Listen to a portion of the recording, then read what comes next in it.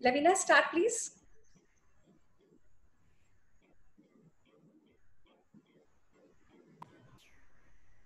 आप सबको मेरा नमस्कार और मैं हूँ लवीना सिन्हा। देवतिथि कमेटी से जुड़े हुए मुझे तीन साल हो चुके हैं और आज का जो ट्रांसफॉर्मेशन सेशन है इसको मैं होस्ट करने जा रही हूँ। ट्रांसफॉर्मेशन सेशंस के थ्रू आप सबको पता ही चल चुका है अब तक कि देवतिथि क्या है किस तरह का काम करती है किस तरह की ऑर्गेनाइजेशन है। अगर मेरे नज़रिए से देखा जाए तो जैसे हमारे हाथ की पाँच उंगलियाँ होती है, पाँचों की पाँचों अलग एक दूसरे से।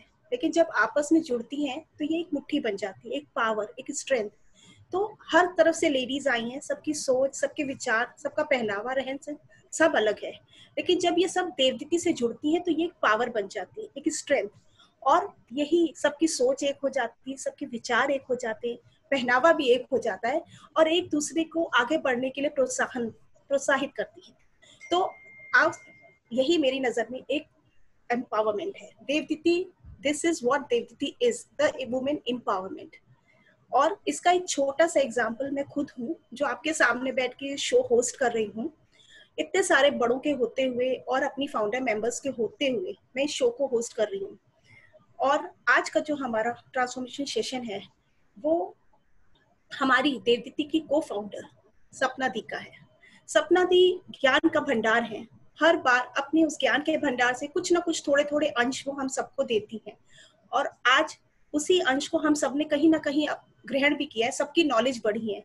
तो आज उसी एक और अंश को लेते हुए इस कड़ी को हम बढ़ाते हैं। उस कड़ी के आज है टेम्पल्स मंदिर। मंदिरों का क्या महत्व है हमारे जीवन में? कहाँ से आए हैं मंदिर? क्या विज्ञान छुपा है मंदिरों के पीछे? तो इसके बारे में आपको सपना दी बताएँगी। तो over to Sapna the and thank you very much thank you Lavina thank you बहुत खूबसूरती से आपने सेशन को इंट्रोड्यूस करा। और आप लोगों की ग्रोथ देख के, देवदीति के फाउंडर मेंबर्स और सीनियर मेंबर्स बहुत खुश हो जाते हैं कि इतने अच्छे ढंग से हमारी यंग गर्ल्स यंग देवदीतीज ग्रूम हो रही है। यही है देवदीति की पहल। तो चलिए आज के सेशन पे चलते हैं कि मंदिर होते क्या है। और मंदिर हमारी संस्कृति में इतना इम्पोर्टेंस क्यों रखते हैं? और क्यों सदियों से इन्हीं मंदिरों के पीछे लोग न जाने कहाँ कहाँ से चले आए और न जाने क्या क्या हरकतें करके इन मंदिरों को उन्हें डिस्ट्रॉय करने की कोशिश करी उसके बावजूद हम सब और हमारी संस्कृति ज़िंदा है। कैसे है? क्यों है? क्या है? आ, हम इसका science and the purpose of mandir को देखते हैं टेम्पल्स मंदिर होता क्या है? मंदिर एक पूजा का घर होता है। पूजा क्या होती है? पूजा वो होती है जो मुझे मेरे हायर से जोड़ती है। कोई भी ऐसा मार्ग कोई भी ऐसी जगह कोई भी ऐसा स्थान जो मुझे अपने ही हायर पॉसिबिलिटी से जोड़ती हो, उसे हम सनातन धर्म में मंदिर का दर्जा देते हैं, है ना? तो जिस तरीके से अब हम ये बातचीत कर रहे हैं और टेक्नोलॉजी इस तरह आगे बढ़ चुकी है, एक सेलफोन के माध्यम से आप और हम बात कर लेते हैं। परंतु कई बार हम कहते हैं ना, नेटवर्क नहीं है कनेक्शन इज़ वेरी बैड क्यों कहते हैं? क्योंकि टावर्स जगह जगह डिस्ट्रॉय हो गए या टावर्स लोग बनने नहीं दे रहे। सिमिलरली अगर टावर्स नहीं बनने दे रहे तो जो साउंड तो सब जगह है। आपने फ़ोन मिलाया, पर वो उस टावर तक गया। अगर वहाँ पे टावर है, वो सब जगह के साउंड्स लेके अलग अलग जगह अपने फोनों पे, आपके फोनों पे भेज देगा। या जैसे ये स्ट्रीमिंग डिवाइस है, जो हम स्ट्रीम कर रहे हैं जूम के द्वारा ये मेरे यहाँ से जाके जूम के सर्वर पे स्ट्रीम होके अलग अलग जगह जा रही है फेसबुक पे जा रही है यूट्यूब पे जाएगी अलग अलग आप लोगों के घरों में जा रही है। मंदिर वही काम करते हैं, बिल्कुल। मंदिर एक ऐसा जोन होते हैं जहाँ पे जो भी हायर पावर है, वो कॉन्सेंट्रेट होके उस स्थान पे, उस डेटी में, उस जगह आ जाती है और फिर जो जो उसके सामने आता है जो जो उस वातावरण में आता है जो जो आके नतमस्तक होता है और जो चाहता है रिसीव करना। अब जैसे आज का सेशन जो लोग नहीं जुड़े, उन्होंने नहीं चाहा फॉर वट एवर रीजन या तो नहीं आ पाए या नहीं चाहा तो उन्हें ये सीधा प्रसारण नहीं मिलेगा, है ना? सिमिलरली हमारे मंदिर, हमारे टेम्पल्स एक ऐसा नेटवर्क जोन है, जहाँ पे वो सारी डिविनिटी ऑफ़ द हायर होती है और जो जो उसके संपर्क में आता चला जाता है। जितना उसमें संपर्क में आने की क्षमता है या जितना वो उस संपर्क से जुड़ना चाहता है, यानी कि जितना जो लेना चाहता है, उतना उस उसको मिल जाता है। जाकी रही भावना जैसी। हमारे शास्त्र यही बताते आए हैं। तो मंदिर, जैसे हमने देखा, एक एक ऐसा जोन है जो सारी डिविनिटी को अपने अंदर इकट्ठा करके और लोगों को, जो उसके डिवोटीज होते हैं, उनको देते चले जाता है। है ना? तो मंदिर का पर्पस ये था। हम सब जानते हैं और सनातन धर्म शुरू से बताता आया है कि there is only one god पर उस एक तक पहुँचने के लिए अनेकों रास्ते हैं। उस अनेकों रास्ते में, रास्तों में विष्णु हो सकते हैं, शिव हो सकते हैं, गणेश हो सकते हैं, कार्तिकेय हो सकते हैं, माता रानी हो सकती है। मतलब इतने तरीके के मार्ग हैं हमारे संस्कृति में कि हम कोई भी मार्ग लें, पर उस सारे मार्ग वो एक तक पहुँचते हैं। तो हम अंदर से जानते हैं, हमें कोई दिक्कत नहीं आती। हमारे ही घर में कोई अगर विष्णु को पूज रहा हो, कोई राम को पूज रहा हो, कोई हमारा बच्चा कहे, मैं तो गणेश को पूछता हूँ, या कोई हमारे घर में कहे, हम माता रानी को पूछते हैं, कोई बात नहीं। हमारे ही घरों में कितने ऐसे लोग हैं जो जीसस की भी फ़ोटो रख लेते हैं, वो जीसस को भी प्रे कर लेते हैं, क्योंकि ये वो संस्कृति है जो पहाड़ों को और पत्थरों को वृक्षों को, नदियों को, तालाबों को, हर एक को पूछ लेती है। वो जानती है, ये सनातन धर्म एक ऐसा कल्चर है कि हमें ये पता है कि ये जो मिला है ना हमें ये प्रकृति, ये धरोहर है। ये सिर्फ़ हमें कुछ समय के लिए मिली है भोगने के लिए और नेक्स्ट जनरेशन को देने के लिए। तो इसको प्रिजर्व करके रखने के लिए इसको बचाने के लिए, इसको ढंग से रखने के लिए अगर इसकी पूजा भी करनी पड़े तो कोई इसमें बुराई नहीं है। ये था इथोस जो हमारे, जिन लोगों ने, जो ऋषियों को वेदों का ज्ञान श्रुति में, जो श्रुति के माध्यम से बोला गया और सुना गया जब उन्हें समझ में आया कि मनुष्य इस प्रकृति के बिना कुछ नहीं है, आज हम कोरोना के माहौल में बहुत क्लियरली देख रहे हैं। जो हम लोगों ने डिस्ट्रॉय करा है, जो हम लोगों ने खराब करा है, और अब देखिए, ये वही प्रकृति है जो हम सबको अब घर में बैठना पड़ रहा है। और हम बैठ गए हैं, और हमारे घरों में बैठने से प्रकृति फिर एक नई ऊर्जा लेके, एक नए रूप में रिजुवनेट हो जाएगी।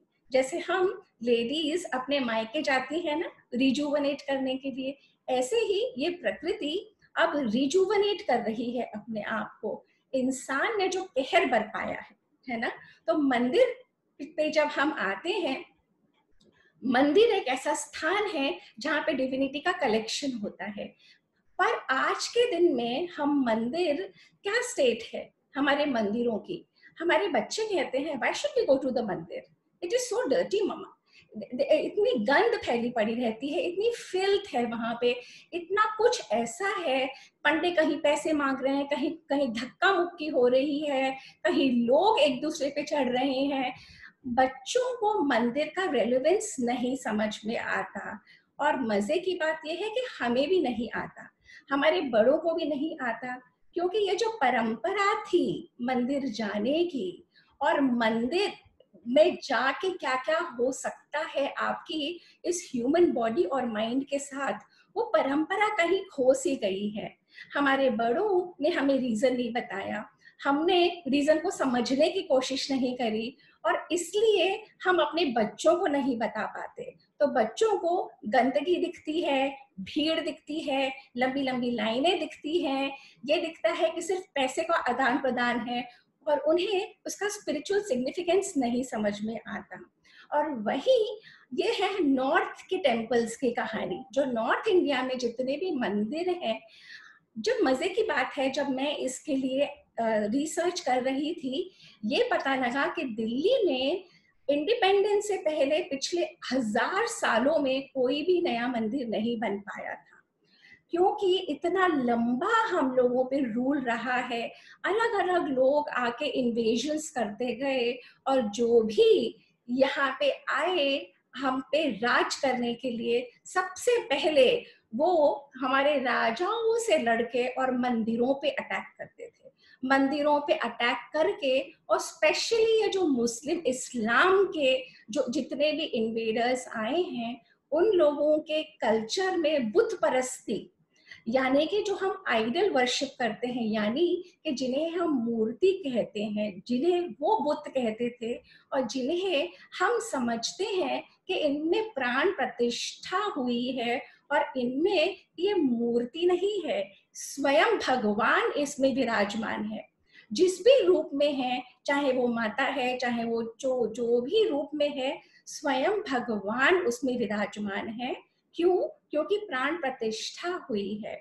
हमारे मंदिरों में प्राण प्रतिष्ठा जिसकी जब हो जाती है तो वो एक लिविंग डेटी एक लिविंग एंटिटी बन जाती है।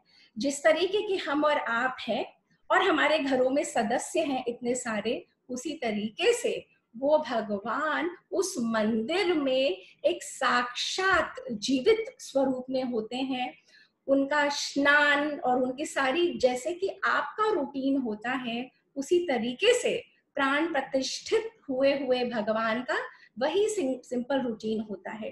तो जब ये इस्लाम के इन्वेडर्स जितने भी आए और इन लोगों ने हमारे मंदिरों को इस कदर अटैक किया और सारी हमारी प्रतिमाएँ, सारे मतलब एक्चुअली जब मैं ये स्टडी कर रही थी ना, ये दो बुक्स हैं कि हमारे हिंदू टेम्पल्स को हुआ क्या? कहाँ गए जो हज़ारों हमारे हिंदू टेम्पल्स थे? उनकी कोई कहानी, उनका कोई ज़िक्र, उनका कोई नाम नहीं। हिस्ट्री सिर्फ़ हमें ये बता देती है कि इस्लामिक इन्वेडर्स ने सारे मंदिर तोड़ दिए।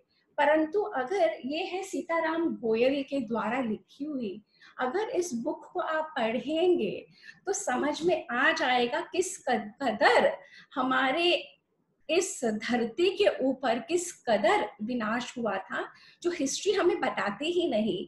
जैसे जूस के ऊपर हिटलर ने हिटलर ने जब जूस के ऊपर इतना ज़बरदस्त स्लॉटर करा था, इतना ज़बरदस्त तरीके से पूरी जूश कल्चर को खत्म करने की कोशिश करी थी, कुछ वही इस धरती पर भी हुआ था। और यहाँ पे 100-200 साल नहीं 800 से लेके हज़ार सालों तक होता चला आया था कॉन्स्टेंटली होता चला गया।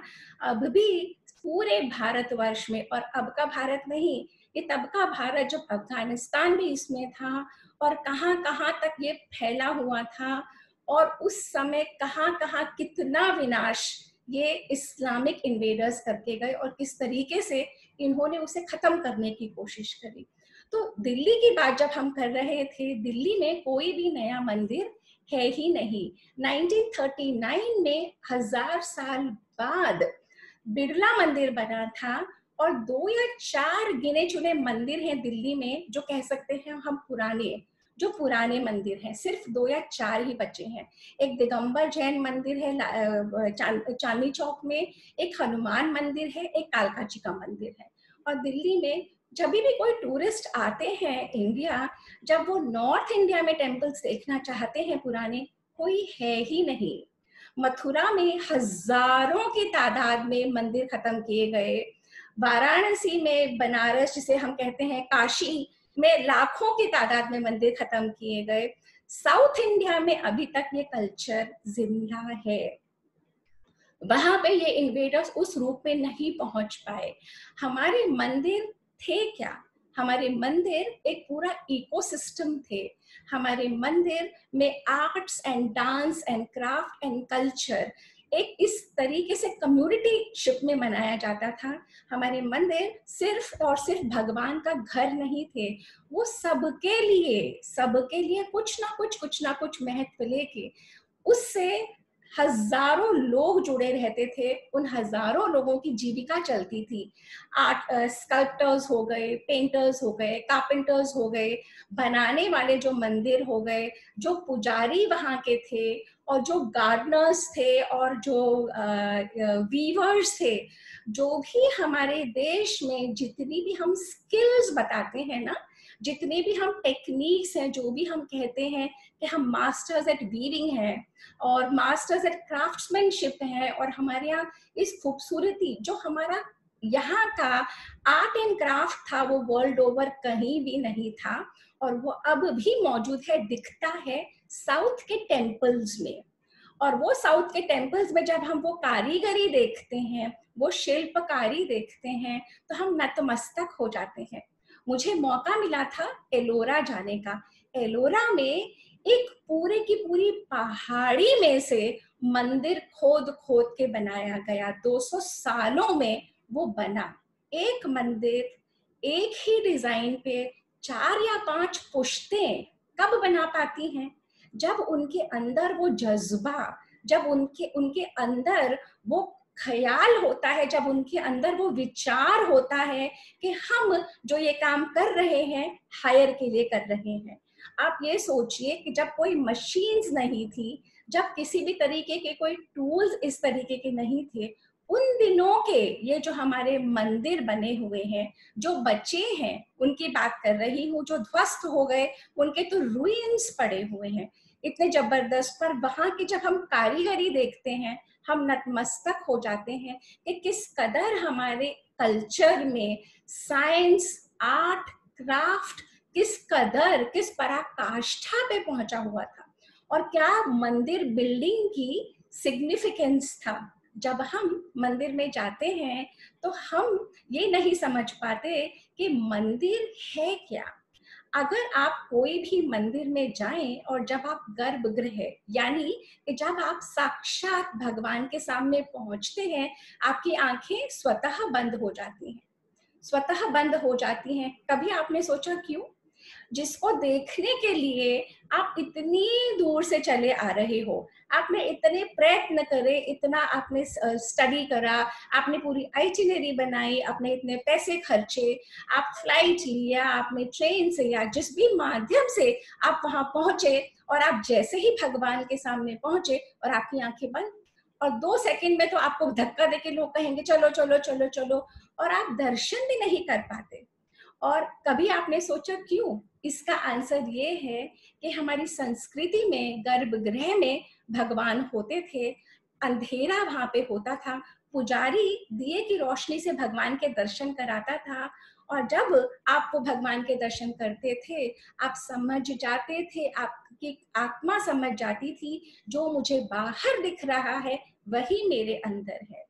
तो आप बाहर भी नमन करते थे और आपकी आँखें स्वतः झुक के अपने अंदर जो बैठा है, जो इस शरीर को चला रहा है, उसका नमन करती थी। ये है रीजन इसी तरीके से हमारे पूर्वजों ने समझ लिया था कि ये जो शरीर है ना, जिस तरीके से इस शरीर में अंगुष्ठ मात्र के अपने हृदय में हमारे उपनिषद बताते हैं कि हृदय में हर एक के भगवान बैठा है। वो अंगुष्ठ मात्र है, इतना सा है। और उसको पहचानना है हमें हमें कैसे पहचानेंगे? हर एक में हम जब देखने लग जाएँगे। हमें दिखता नहीं तो वो कहते हैं, कोई बात नहीं, पहले कम से कम इस प्रतिमा में देखना शुरू करो।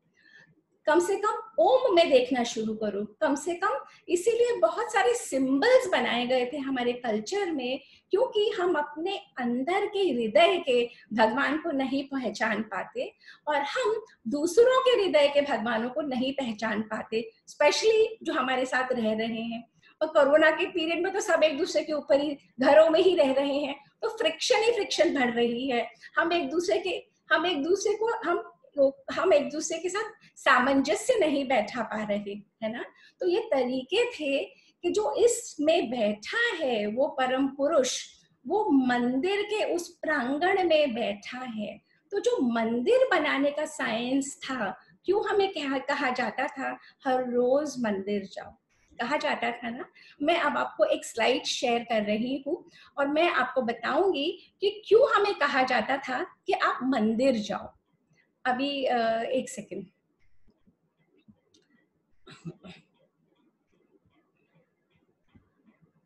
वंदना दी अब पीपीटी मेरा दिख रहा है?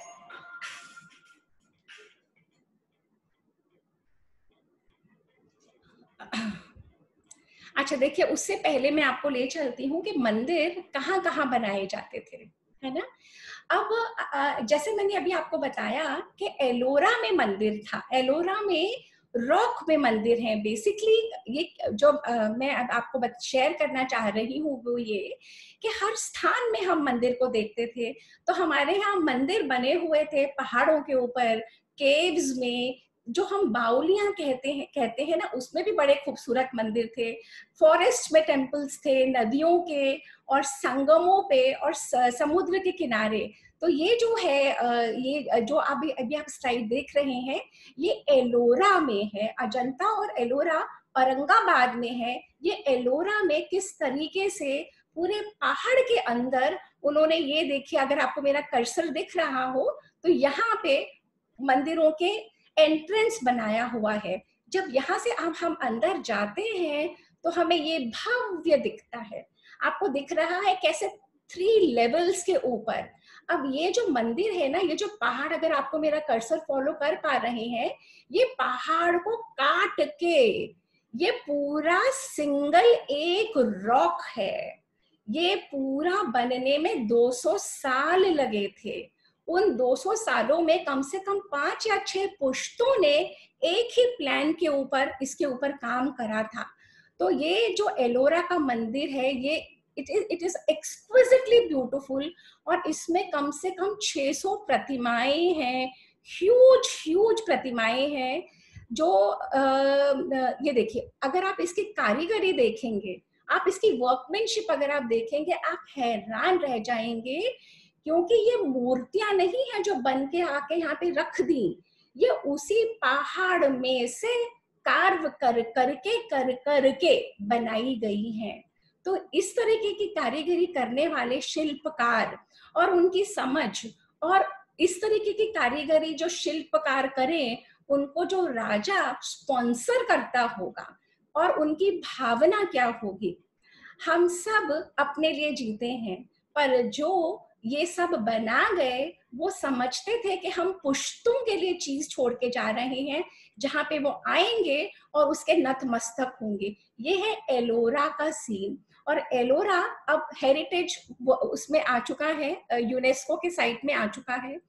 अब मैं आपको बावलियों का बता रही थी, बावलियों में जो मंदिर होते हैं ना, ये है पाटन का, ये है एक बावली। देवदीति ने एक बावलियों का टूर करवाया था। तो ये जो बावली है इसको कहते हैं रानी की बावली, और इसमें अगर आप कारीगरी देखेंगे तो ये देखिए। ये सारा उस बाउली में है, ये पाटन की महारानी ने बनवाया था। पाटन से ही हमें पटोला मिलता है। पटोला जो वस्त्र होता है, जो साड़ी होती है, वो देवताओं के लिए बनी थी। भगवानों को अर्पण की जाती थी। तो ये थी हमारे संस्कृति की पराकाष्ठा। किस लेवल पे जाके, किस किप पे काम हुआ था। अब ये है मीनाक्षी टेंपल मदुरई।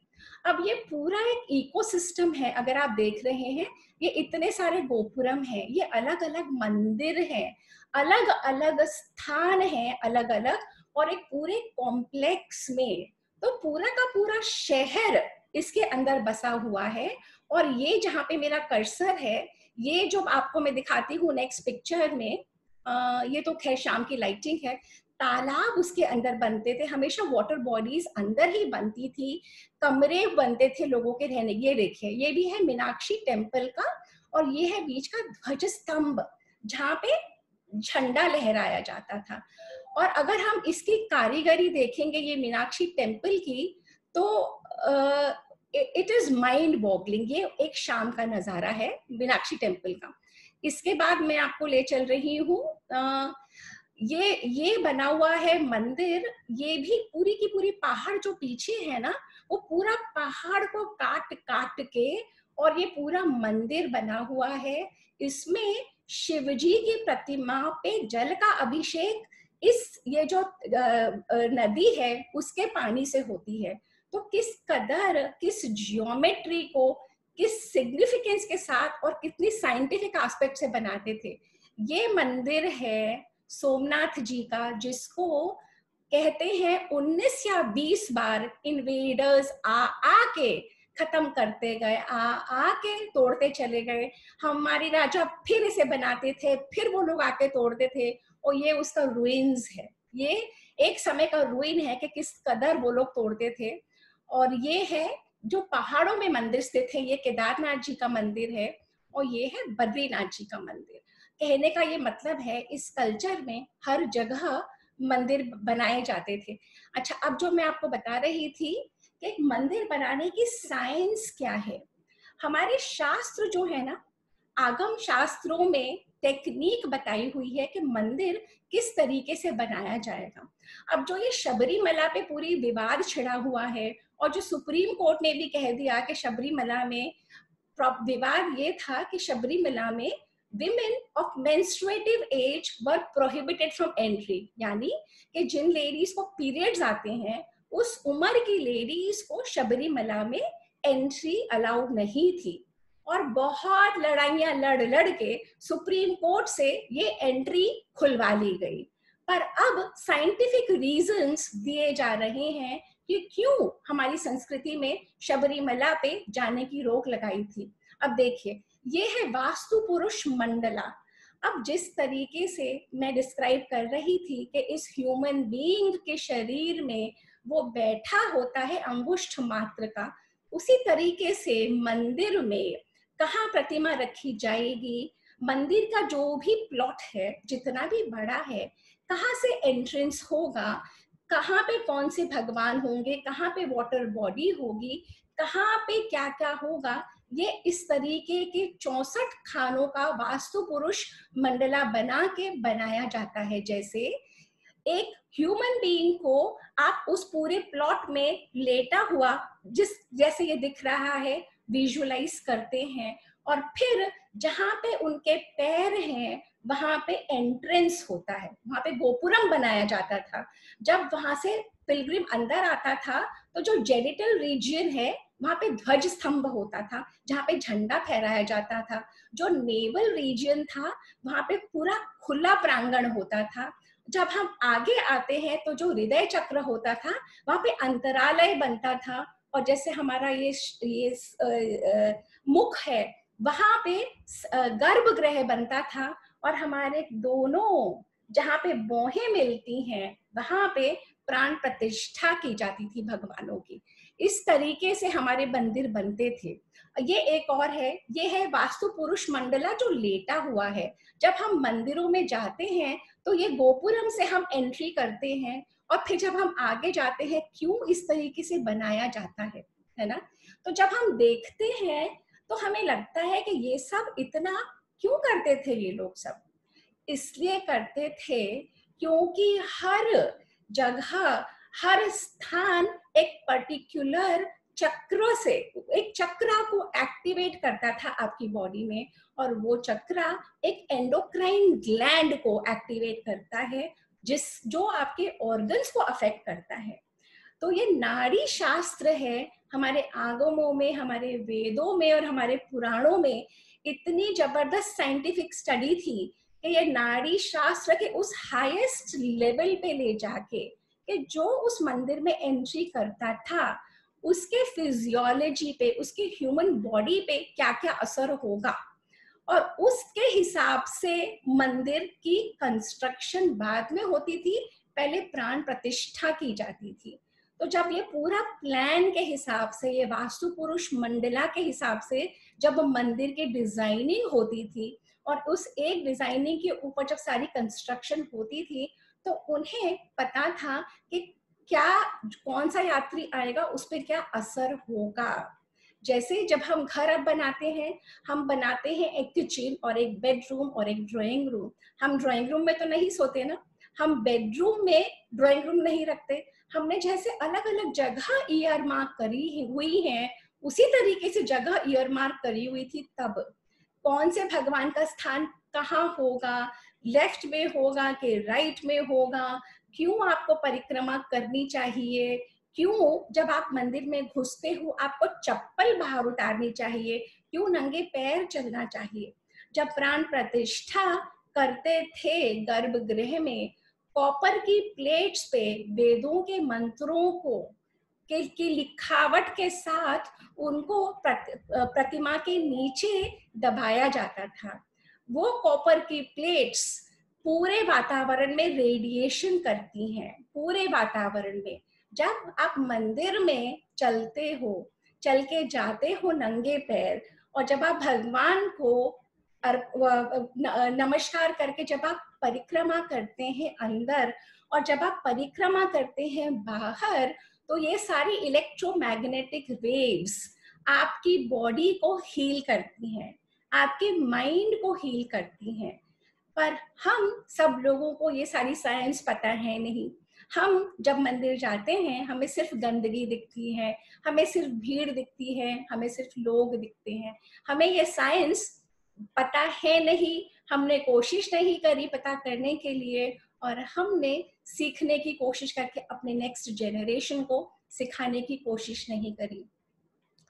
जितने भी इन्वेडर्स बाहर से आए, वो हमारे कल्चर को खत्म करना चाहते थे।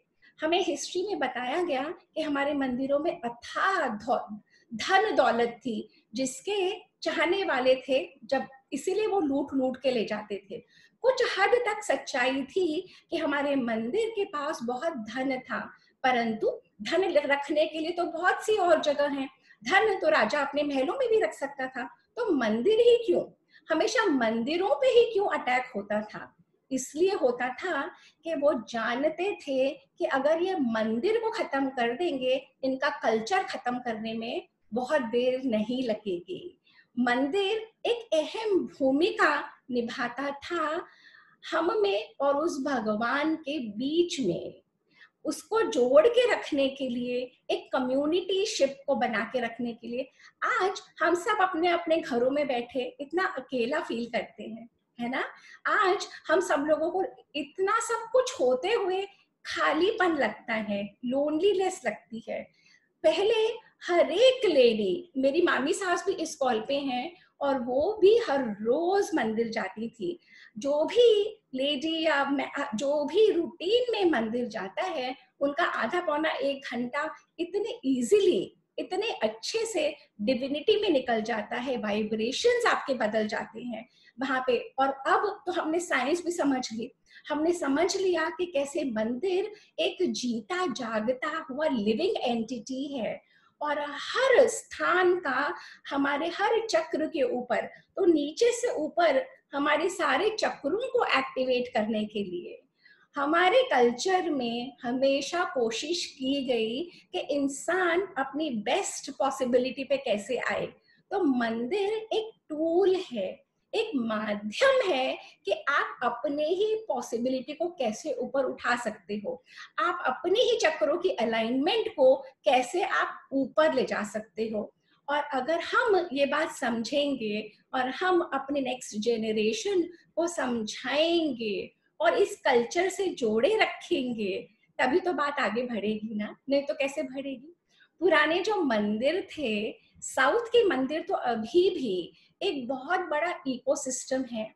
वहीं पे अग्रहार होते थे, वहीं पे बहुत सारे लोगों की रहने की व्यवस्थाएँ थी, वहीं पे वेदों का की पाठशालाएँ चलती थी। मकौले जब आया और जब सारे इंडिया की व्यवस्था ऑफ़ एजुकेशन बदल गई, उस तब धर्मपाल जी हैं, उन्होंने एक पुस्तक लिखी है द ब्यूटिफुल ट्री किस तरीके से हिंदुस्तान के पेड़ को उठाड़ के और छोड़ दिया गया और सारी जड़ें सूख गई? और कैसे हम सब अपने ही कल्चर को नहीं जानते और बिल्कुल प्राइड नहीं फील करते अपने ही कल्चर में? और कैसे हम लोग शर्मिंदा होते हैं, हम लोग खुद कहते हैं so dirty I don't want to go there अगर हम लोग देखें तो जो गुरुद्वारे करते हैं या जो जैनियों के मंदिर इतने साफ़ होते हैं, हमारे क्यों नहीं होते? क्योंकि वहाँ पे चढ़ावा भी होता है और बहुत तरीके की और चीज़ें भी होती हैं। और गुरुद्वारों में तो सेवा इतनी की जाती है। तो जिसको भी लगता है हमारे मंदिर गंदे हैं, कभी आपने चेष्टा करी जाके अपनी सर्विसेज़ ऑफ़र करने के लिए कि हर रोज आधा घंटा मैं देती हूँ, बताइए यहाँ पे क्या काम है? कभी आपने चेष्टा करी कि अपने ही समाज में, अपने ही लोगों से जुड़ने के लिए? देखिए, मंदिर कोई भी गंदा ऐसे नहीं होता। लोग ही तो आके करके जाते हैं ना। और हमारे मंदिरों में जितने भी हमारे बड़े मंदिर हैं अनफॉर्चुनेटली अंग्रेज़ों के समय से 1850 से लॉज के तहत वो स्टेट कंट्रोल में आते चले गए। गुरुद्वारों में जितनी भी वेल्थ आती है वो उनकी है। वो जैसे जैसे डिस्ट्रीब्यूट करना चाहें। मॉस्क में जितनी भी वेल्थ आती है वो उनकी है। बाकी और धर्मों के मंदिरों में जितनी भी वेल्थ आती है उस पर स्टेट का कंट्रोल नहीं है। हमारे देश में हम मेजोरिटी में हैं फिर भी हमारे मंदिर स्टेट कंट्रोल में है। और स्टेट जब कंट्रोल कर लेता है तो आपको पता है कि वो हा, किस हाल, क्या हालत होती है। जब वो लोग मैनेज नहीं कर पाते और गंदगी बढ़ती चली जाती है। और इसमें हम सबों का मिला जुला है। हम सब जिस समाज से ले रहे हैं, हम सब जिस देश का खा रहे हैं, हम सब, हम सबका एक ऋण है इसको चुकाने का।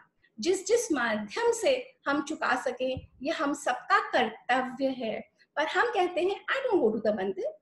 Why do I need to go to the mandir बच्चे फिर एक और क्वेश्चन करते हैं, जब मंदिर घर में है, मैं क्यों जाऊँ? मैं वहाँ क्यों जाऊँ? मुझे नहीं जाना, मोम। ये इसीलिए भी बोलते हैं कि हमने बचपन से उनमें एक कल्चर नहीं डाला और हमने खुद वो कल्चर अडॉप्ट नहीं करा। जब हमने खुद नहीं करा, हम अपने बच्चों को नहीं कह सकते। अगर आप बैठे और पहले इसकी पूरी साइंस समझे, जो एक घर का मंदिर है ना, मैं बताऊँ वो कैसे शुरू हुआ? जब हमारे ऊपर इतनी लॉन्ग इन्वेजन होती रही थी, तब हम कैसे, आप सोचो कांस्टेंट आप अटैक मोड में, अभी तीन महीने आप घर में बैठ के इतने परेशान हो, हज़ार साल तक हमें लोग रूल करते चले गए। और वो लोग भी ऐसे वैसे नहीं लाखों लोगों को मारने वाले, लाखों स्लेव्स बना के ले गए। और जा जाके मिडिल ईस्ट में बोलते थे, देखो, हमने करोड़ों को मारा, हमने इतनों को हम स्लेव बना के ले आए और ना जाने क्या क्या तो आप उस समय कैसे ज़िंदा रहते अपने धर्म को? क्योंकि सनातन धर्म का कोई पर्टिकुलर फाउंडर नहीं है, क्योंकि सनातन धर्म की कोई पर्टिकुलर बुक नहीं है, ये ज़िंदा रहा घरों के माध्यम से। फैमिली ट्रेडिशंस के माध्यम से अपने अपने घरों में जब दुबक जाते थे, जब ब्राह्मणों की हत्या होने लगी मैसिव स्केल में, तब लोग अपने अपने घरों में दुबक के छुपा छुपा के अपने धर्म को फॉलो करते थे। जब मास कन्वर्जन होने लगी, पूरा का पूरा मिडिल ईस्ट जो भी रिलीजन का था, पूरा कन्वर्ट होता ही चला गया ना इस्लाम में। फिर भी इंडिया में वो लोग हज़ारों साल रहे पर पूरे हिंदुस्तान को इस्लाम में नहीं ला पाए। हम अपने अपने धर्म में फिर भी लगे रहे, क्योंकि सनातन धर्म इतनी फ्लेक्सिबिलिटी देता है। उसने जैनिज्म को अपने फोल्ड में ले लिया, बुद्धिज्म को अपने फोल्ड में ले लिया। सनातन धर्म एक रिफॉर्मिस्ट मूवमेंट है। उस रिफॉर्मिस्ट मूवमेंट ने अलग अलग धर्म के लोगों को जोड़ते चला गया और भक्ति की जब मूवमेंट आई तो पहले जो ज्ञान और कर्म प्रधान थे, वो भक्ति के द्वारा अपने अपने घरों में दुबक के बैठ के अपना अपना धर्म करने लगे। छोटा सा एक भगवान की तस्वीर रख ली, एक दिया जला लिया। अगर ये बुक पढ़ेंगे ना, आप लोगों को लगेगा, माय गॉड, कैसे वो लोग जीवित रहे? जिस घर में दिया जलता था, उस घर में जाके सबका कत्ल कर देते थे। मंदिरों तो छोड़ो। तो जब हम अपनी ही कल्चर, अपनी ही हिस्ट्री के बारे में जानते हैं और क्यों जानना ज़रूरी है? इसलिए जानना ज़रूरी है कि कितनी प्राइड की चीज़ें हमारे कल्चर में है, जो हम लोगों को पता नहीं, हमारी हिस्ट्री बताती नहीं है, हमें पता नहीं है। इसीलिए ज़रूरी है तो उसी तरीके से हमारे जो घरों के मंदिर हैं, ये मेक शिफ्ट अरेंजमेंट था उस तक पहुँचने के लिए, क्योंकि हम मंदिर नहीं जा पाते थे। पर उसी की वजह से आज हमारा धर्म ज़िंदा है। अब वक्त आ गया है अपने मंदिरों से फिर जुड़ने का। अब वक्त आ गया है समझ के अपने, हम लोग क्या करते हैं? घूमने जाते हैं okay let's go to Europe और लेट्स गो टू यूएसए और लेट्स गो टू यूके हम अपने कंट्री में ट्रैवल करना नहीं चाहते। अब ये सिनारियो तो बदल ही गया। पर अब हमें एक्सप्लोर करना चाहिए हमारी ही कंट्री हमारे ही इस कंट्री हमारे ही इस देश में इतना कुछ है। हम जब इनमें प्राइड फील करेंगे, अगर जब हम जाएँगे और हम जुड़ेंगे, और वैसे भी देवदीति का बहुत बड़ा मुहिम है बैक टू कल्चर कल का जो हमारा सेशन है, वो इसी के ऊपर है। कैसे हम अपनी दादी नानियाँ जो हमें सिखाती थी और जो हम करना नहीं चाहते थे, अब ये कोरोना हमें फोर्स कर रहा है। बैक टू रूट्स कल का सेशन सब लोग ज़रूर सुनिएगा, सब लोग ज़रूर अटेंड करिएगा। फैबुलस सेशन तो ये जो जड़ से जुड़े, ये जो हमारा मुहिम है, इसमें टेम्पल्स का बहुत बड़ा पार्ट है। और जब हम समझ जाते हैं कि इसका साइंस क्या है, इसका पर्पस क्या है कम्युनिटी हॉल्स बनते थे, उन कम्यू जितने भी हमारे ये क्लासिकल डांसेस और क्लासिकल म्यूज़िक है, ये हमारी मंदिरों की देन है। जितने भी हमारे बड़े म्यूजिशियंस पैदा हुए हैं, वो भगवानों के सामने बजा के, गा के, नृत्य करके, अंग्रेज़ों ने कह दिया कि this are dancing girls they were not dancing girls they were dancing a particular art form for the divinity और जो हमारे शिल्पकार थे, जो अभी आपने जो आपने पिक्चर्स देखी, उस हाईएस्ट लेवल पे जाके जब वो क्रिएशन करते हैं उसका तो वो उसके लिए करते थे। शिल्पकारों के लिए एक पूरी पद्धति बताई गई थी। उनको वेद आना चाहिए, उनको उपनिषद पुराण आने चाहिए, उनको गणना यानी कि अरिथमेटिक्स रूपा यानी कि जियोमेट्री और लेखन यानी कि भाषा तो दे हैड स्पेसिफिक रूल्स कि एक मंदिर जब बनेगा, कौन उसका यजमान होगा, कौन उसका आर्किटेक्ट होगा, कौन वर्कर्स उसमें काम करेंगे, कितने जनरेशन तक काम होगा, किस कदर उसका फाइनेंसिस एक इस, किस कदर फाइनेंसिस चाहिए। तो पूरे पूरे लैंड जो वहाँ का राजा था, वो मंदिर के नाम कर देता था कि यहाँ की जो भी खेती होगी यहाँ का जो भी रेवेन्यू आएगा, उससे ये मंदिर चलेगा। अब हम लोग अपने अपने एक एक घरों को या अपने अपनी फैक्ट्रियों को मैनेज करने में इतने परेशान हो जाते हैं। तो ये जो huge ecosystem of the temple है, किस कदर उस समय बनाया होगा, क्या इसकी साइंस होगी और किस तरीके से इसको चलाते होंगे और कैसे ये आ आके आ आके हम लोगों के ऊपर खत्म करने की कोशिश में फिर भी हम ज़िंदा हैं। रोमन सिविलाइजेशन खत्म हो गई ग्रीक सिविलाइजेशन खत्म हो गई, वो सिर्फ़ नाम के रह गए। इटालियंस रोमन सिविलाइजेशन के लोग नहीं है। ग्रीस ग्रीक सिविलाइजेशन नहीं है, क्योंकि वो कल्चर खत्म हो गया।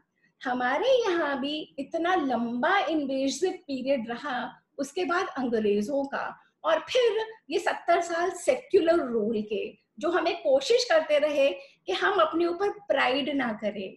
हम अपने अपने आप को ना समझें। अब समय है सबको बदलने का, अपने ऊपर प्राइड फील करने का, अपने कल्चर पे प्राइड फील करने का और मंदिर उसमें बहुत अहम भूमिका निभाते हैं। तो अब मैं अपनी वाणी को विराम देती हूँ और ओपन करती हूँ सेशन अगर कोई क्वेश्चन किसी का को कोई कमेंट हाँ जी।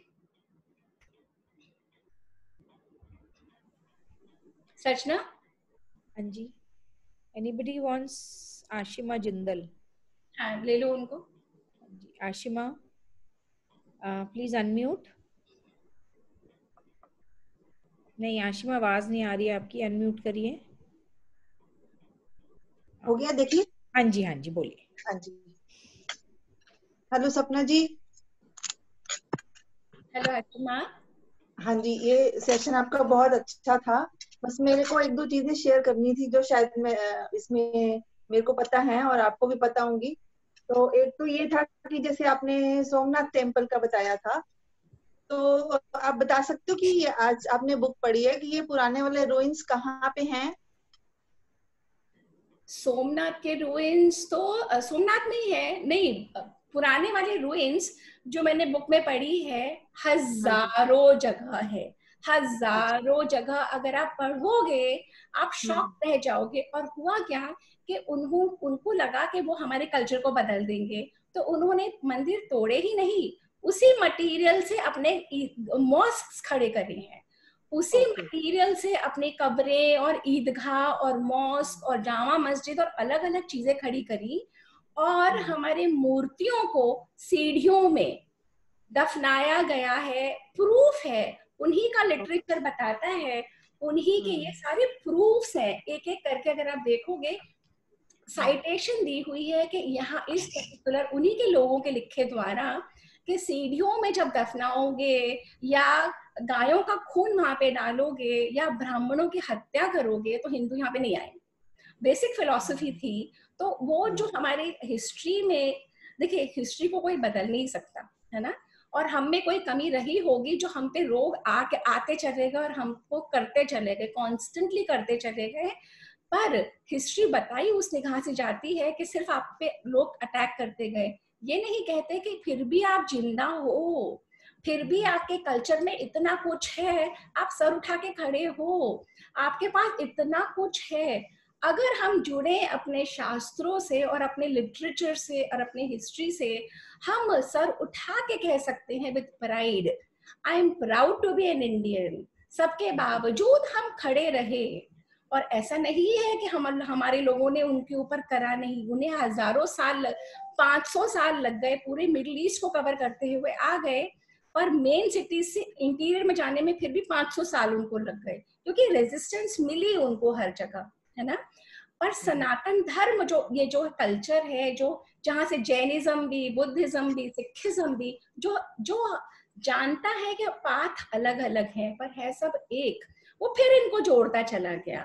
जब इन्होंने अटैक करा पर और और क्योंकि हमारा कल्चर कहता था कि जो माफ़ी मांग लेता है उसके पीठ पीछे से तुम्हें नहीं अटैक करना। तो वो लोग चले जाते थे और ये लोग ये, हिंदू राजा अटैक नहीं करते थे उन उनपे वो लोग फिर स्ट्रांग बन के आ जाते थे। तो हमारी गलतियाँ बहुत रही नेचुरली तभी हिस्ट्री में इतना कुछ हम लोगों ने फेस करा, पर स्टिल अब समय आ गया है सरवाइव करने का और बहुत सारी जगह तो रुइंस पड़ी हुई हैं। अभी तक उनकी एक्सकवेशन नहीं हुई, अभी तक क्योंकि हिस्ट्री का रुख हमेशा ये कहा गया कि इस्लाम के बारे में कुछ मत बोलो, दंगे हो जाएँगे, लड़ाइयाँ हो जाएँगी, झगड़े हो जाएँगे, इसलिए ये बातों को दबाते चले गए, दबाते चले गए। अब पर मूवमेंट चल रहा है फ्री और टेम्पल्स जो मंदिर स्टेट कंट्रोल में है। कहते हैं कि मंदिरों में बहुत आ, आ, क्या कहूँ मैं बहुत मिसमैनेजमेंट है। तो क्या सिर्फ़ मंदिरों में मिसमैनेजमेंट है? मॉस्क में नहीं है या और जगह मिसमैनेजमेंट नहीं है? और क्या सत्तर साल से या डेढ़ सौ साल से मंदिरों में ही मिसमैनेजमेंट हो रही है? विच इज़ गोइंग टू से कि मंदिर हमारे रे, रेनोवेट नहीं हो पा रहे मंदिर को वो लोग कर नहीं पा रहे जो जीर्णोद्वार करना पड़ता है। या जैसे कि सरदार इतना वो करते हैं जगह जगह लंगर लगाते हैं जगह जगह सेवा करते हैं हमारे मंदिरों के पास फाइनेंसेस ही नहीं होती क्योंकि वो सब स्टेट कंट्रोल में है। जहाँ पे जैसे वैष्णो देवी में वो स्टेट बोर्ड और टेंपल बोर्ड ने मिल के बहुत कुछ फैसिलिटीज़ दी है। हमारे मंदिरों में रिफॉर्म्स की बहुत ज़रूरत है। क्लेनलीनेस की बहुत ज़रूरत है। मैनेजमेंट की बहुत ज़रूरत है। परंतु स्टेट कंट्रोल की वजह से और बहुत लंबे केसेस चले आ रहे हैं और जो कुछ मैं पढ़ा है इन दिनों में, क्योंकि एक हफ़्ता मैं सिर्फ़ मंदिरों में जी हूँ। ये एक हफ़्ता पिछले टॉक से और इस टॉक को प्रिपेयर करने में thank you for you all कि मेरी लाइफ में इतनी नॉलेज और बढ़ जाती है। मैं एक माध्यम बन जाती हूँ सबके लिए कि मेरे थ्रू ये जा रहा है and I really enjoyed myself to know and learn about my mandirs and to know and learn the science behind the whole thing कि क्यों हमें अपने मंदिर से जुड़ना चाहिए? क्यों हमें अपने बच्चों को जोड़ के रखना चाहिए? क्योंकि ये कल्चर अगर हमें अपना कल्चर अलाइव रखना है दुनिया भर से लोग आते हैं इस कल्चर के पीछे क्योंकि बहुत कुछ बाहर अच्छा है पर यहाँ सब खाली है। और अगर हमें यहाँ और यहाँ भरना है तो हमें बैक टू हम अपने कल्चर जाना होगा। हमें बैक टू अवर रूट्स जाना होगा। तो ये है आशिमा तो इसमें सपना जी इसमें दो बात ये थी कि जैसे हम शंकर भगवान को जल चढ़ाते हैं हाँ जी। तो इसका भी एक साइंटिफिक रीजन है कि उसमें इतनी हीट है कि उसको रेगुलरली उसको जब तक हम जल नहीं चढ़ाएँगे तो वो डिजास्टर्स हो जाएगा। ऐसे ही मुझे पता चला था कि बेल है जो हमारे मंदिरों में, उसको हम इसलिए बचाते हैं कि उसकी जो वाइब्रेशन है, वो हमारे माइंड को बहुत पॉजिटिव एनर्जी देती हैं। लिए आशिमा हाँ। एक बात और जोड़ती हूँ। बेल्स जो बनती है अष्ट धातुओं की बनती है। और बहुत और अष्ट धातुओं की प्रोपोर्शन कैसी कैसी होती है उसको कंबाइन करके जब बनाते हैं तो वो एक ध्वनि वो छह या सात सेकंड तक जब आपके अंदर वाइब्रेट करती है आपके सारे थॉट्स नेगेटिव या पॉजिटिव सबको खत्म कर देती है।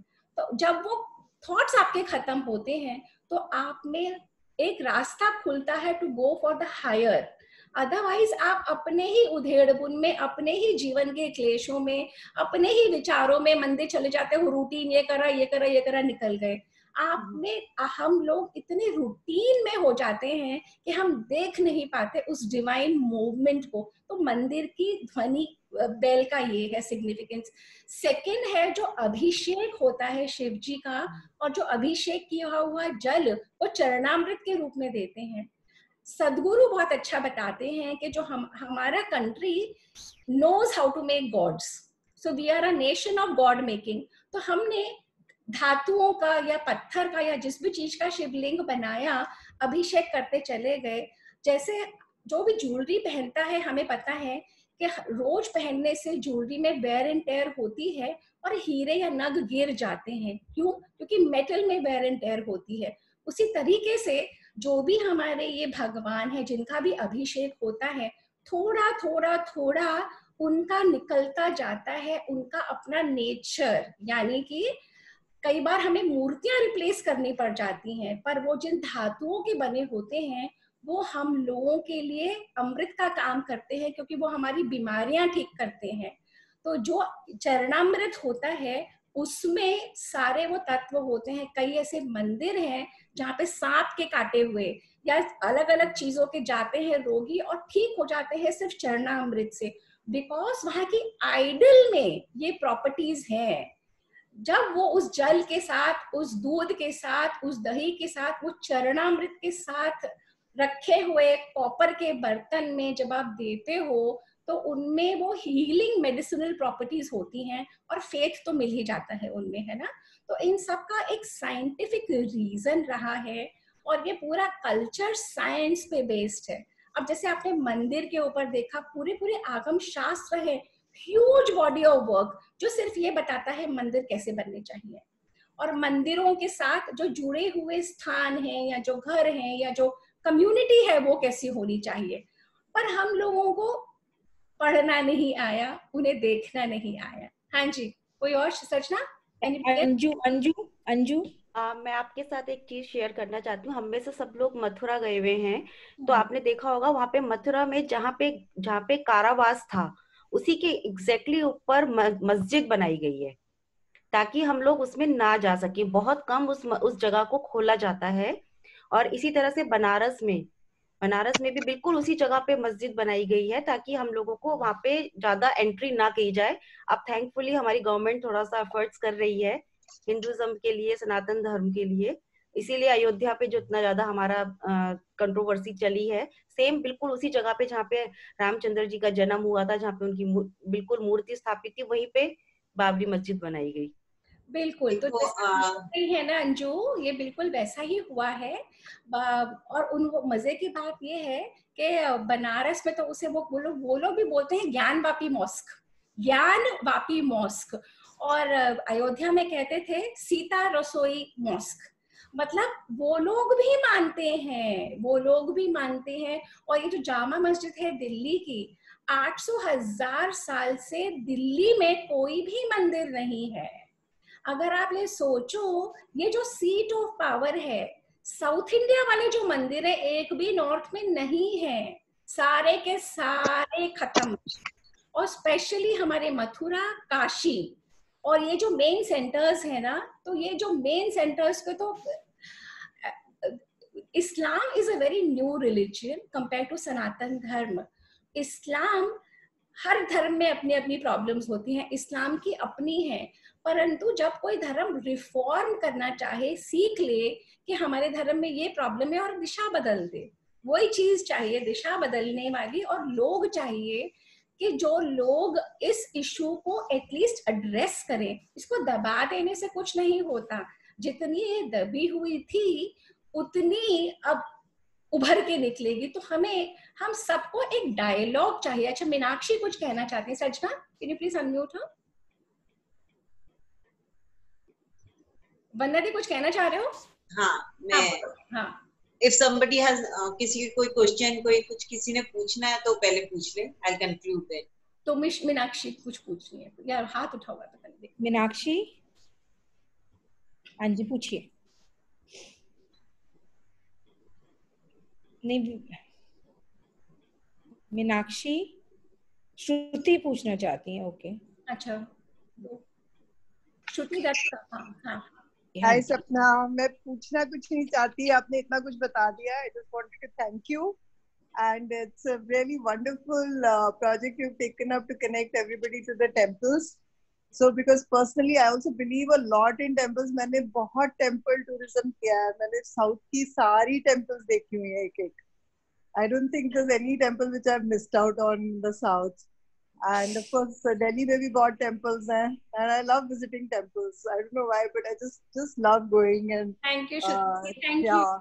Thank and you. like you like you rightly pointed out it is the place the aura that when we go there uh, it is like you know getting a reset done to your whole mind and body and soul when you just go there and you just uh, you know श्रद्धा से आप बस प्रणाम ही करके आ जाओ Thank you, Shruti. Thank you. Thank you. Meenakshi सजना मीनाक्षी हो गई सजना Yeah. आवाज़ नहीं आ मीनाक्षी मीनाक्षी आवाज़ नहीं आ रही पता नहीं क्या हुआ हाँ I can't even see her video अच्छा wait okay Meenakshi? Okay Lata? या लता? लता आपका भी हाथ ऊपर है। लता कुछ कहना चाहती हैं आप? I don't, I don't see anybody raising the hands. अच्छा नहीं वो उसमें आ रहा था। Lata? Lata can you hear me हाँ you are unmuted Lata please speak Lata? हाँ जी लता बोलिए yeah.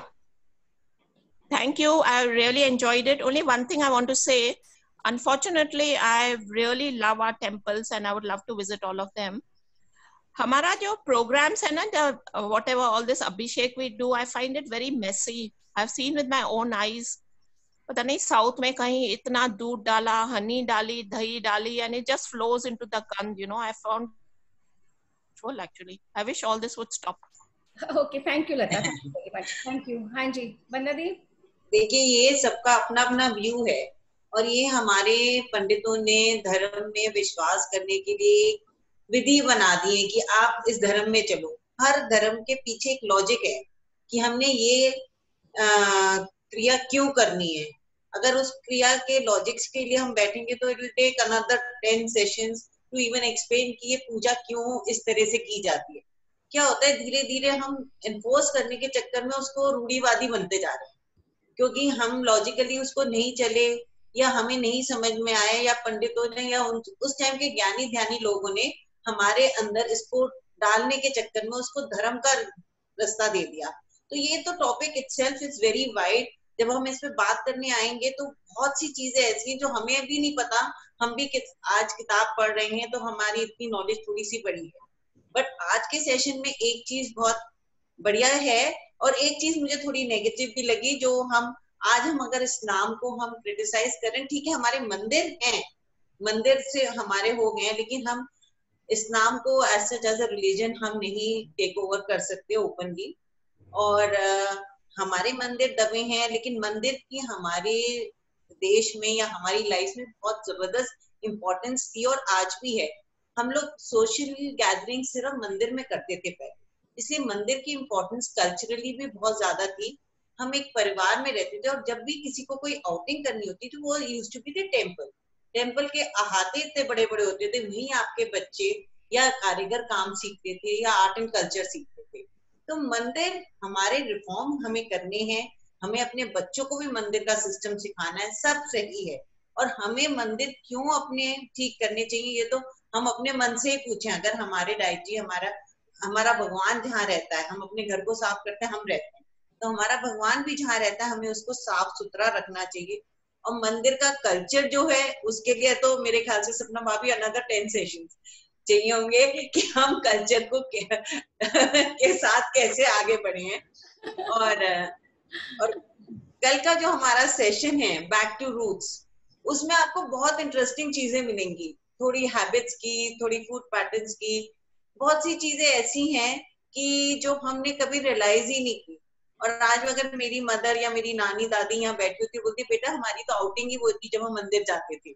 हमारी आउटिंग क्या थी? घर में बस खाना बनाओ और बस, कुछ नहीं, हम तो मंदिर was also an outing for these ladies and because we never had any social circle आप ज्वाइंट फैमिली में रहते थे और वहीं ये आपकी आउटिंग होती थी।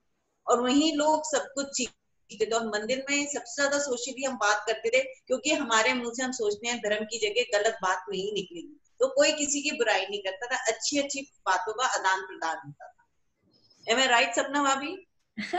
यस बेसिकली हर चीज़ शुरू होती है अच्छे के लिए ही। फिर कहीं बीच में उसके रूप बदलते चले जाते हैं। कुछ हमें समझ नहीं आता इसलिए और कुछ अलग अलग इन्फ्लुएंसेस की वजह से। पर कोई बात नहीं हर एक चीज़ से लड़ना हम लोग किसी भी धर्म की सनातन धर्म किसी भी धर्म को गलत yes. नहीं मानता वो हर एक को मानता है। ये उनका अपना तरीका है। उनका तरीका है वहाँ तक पहुँचने का। परंतु जब हम हिस्ट्री की बात कर रहे थे तो जो फैक्ट्स है, वो फैक्ट्स की तरह रखने रखने के लिए एक जो मुहिम चल रहा है, वो मैं यहाँ पे शेयर कर रही थी। जो इंडिक हिस्ट्री है, जो इंडिक कल्चर है, जो हिस्ट्री हमारे बच्चों को पढ़ाई जा रही है, वो अभी भी एक कॉन्करर की निगाह से है। अभी भी एक यूरोपियन दृष्टि से है। अभी भी उसमें इंडियन पॉइंट ऑफ़ व्यू कम है। हमारे अपने जो फ्रीडम फाइटर्स है, वो फुट नोट्स में रह गए हैं और अभी भी हम लोग, उन लोगों को बड़ी बड़ी चीज़ें, हम लोग अभी भी पढ़ते हैं the greatness of the Mughal rule अभी भी हम पढ़ते हैं और so many other things the history वो जिस ढंग से प्रेजेंट किया गया है is not an absolute is the entire point and जो टेम्पल्स को लेके आता है टेम्पल्स के डेसिक्रेशन टेम्पल्स का टूटना, हमारी मूर्तियों का, हमारी प्रतिमाओं का, और किस कदर लूटपाट, किस कदर चीज़ें हमारे मंदिरों के साथ हुई थी फ़र्स्ट स्टेप होता है एक्सेप्टेंस कि हाँ हमारे साथ, हमारे कल्चर में हुआ था। सेकेंड स्टेप होता है एनालाइज करना, क्यों? हम लोगों में क्या कमी रह गई थी? जो अब हम वो कमी को ना करें। थर्ड जो अगर कल्चर हमारा खत्म हो रहा है, क्या कर सकते हैं जुड़ने का? तो ये है चीज़ें जो टॉपिक का आज का पॉइंट था और जिसको यू वेरी राइटली सेड नन्ना दी, हर एक टॉपिक पे जाएँगे तो हर topic is a topic by itself exactly हमारी जो हिस्ट्री बेसिकली क्या है कि जस्ट टू कीप शांत पीसफुल रहना है, इसलिए कोई भी बात नहीं करना चाहता था, इसलिए दबा के, लेकिन किसी ने ये नहीं सोचा जितना दबाएँगे उतनी जोरदार वॉल्केनो फटेगा। बिल्कुल बिल्कुल। अब हाँ। अब फियोना ने बहुत अच्छा लिखा है। A friend of mine history was written by the victors and never challenged so Fiona that is the time now that we Indic people need to say hey we need a revision of history for our children and grandchildren not any more not any more and हम लोगों को pride दो ना। हमें बताओ तो हमारे roots क्या है? हमारे जब रूट्स इतने स्ट्रॉन्ग हैं क्यों हमें हीन भावना हमें भरती है? हम तो कुछ नहीं थे। हम पे ये आया रूल कर गया वो आया वो आया वो आया वो। ये थोड़ी है हमारी हिस्ट्री उससे सदियों पहले भी हम थे और उसके दौरान भी हम रहे। और आज हमारी सहन शक्ति है। हमने सिर्फ़ सहन शक्ति ही नहीं थी। There have been many, many parts to the whole, not just Sahan Shakti. Sahan Shakti is one aspect. The tolerance of a Sanatan Dharmi, or now जो अब हम हिंदू बोलते हैं हमें, is one aspect. Many aspects to the whole. चलिए, in any case, uh, Vandadi, I think we can wind up now. Time हो गया. so, चलो अब uh, on behalf of